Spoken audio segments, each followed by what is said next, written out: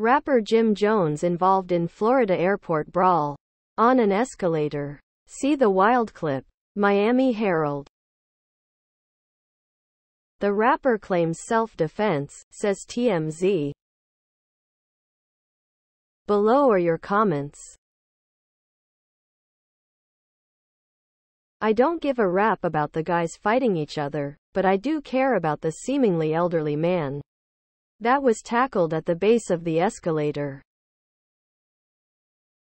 He's the only victim here. You walk away from trouble if you can. It won't mean you are weak if you turn the other cheek.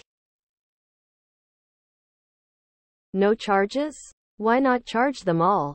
That was against the law as far as I can tell. Everyone is a rapper. I'm a 72-year-old semi-retired British archaeologist.